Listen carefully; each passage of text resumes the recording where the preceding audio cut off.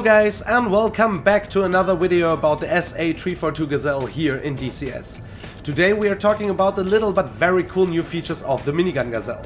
Beside the new flight model, which is of course integrated in the minigun version as well, we get a fix for the multi-crew stuff. So this bird will hopefully take place in many multi-crew missions and servers. But also flying alone is great fun. Our today's quick little mission is to protect the convoy on the road. We suspect some insurgents from the town down the road preparing an ambush. We use our minigun to get rid of them. One of the improvements here is a long requested function. In the specials tab you can decouple your track IR from the gun and use your mouse instead for aiming. This can make life easier or harder, depends on your setup and situation. So let's quickly jump in the front here and turn the master arm on. We now go back to the gunner seat and we use left alt and C to use our mouse cursor. We now have to open the flip cover in the middle of the gun and turn on the weapon system. With left alt and C we can use the gun again. And there are our insurgents trying to drive our convoy crazy, so clear to engage.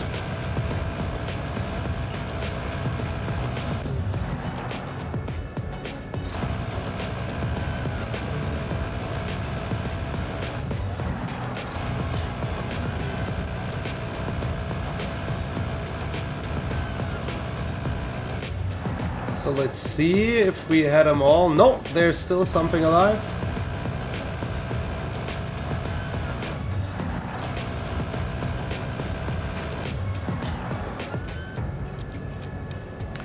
Please do not wonder why the infantry is burning. No issue from Polychop, it's a bug in the current DCS build.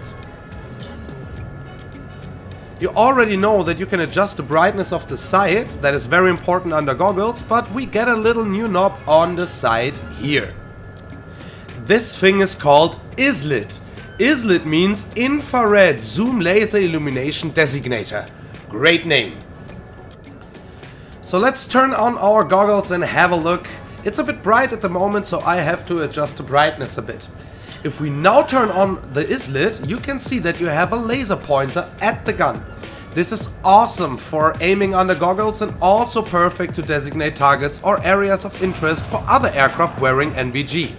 It's a very cool feature and I like it very, very much.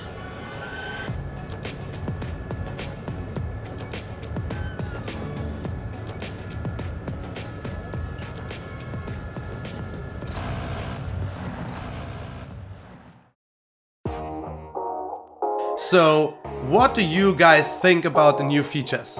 What do you like most? For me, the IZLID is one of the highlights. Let me know in the comments below. I hope you have as much fun with the new minigun variant as I have. I hope to see you in the next episode and all the best for you.